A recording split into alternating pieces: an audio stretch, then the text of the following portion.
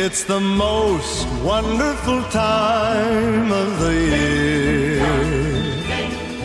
With the kids jingle belling and everyone telling you be of good cheer. It's the most wonderful time of the year. It's the hap- happiest season of all. With those holiday greetings and gay happy meetings when friends come to call.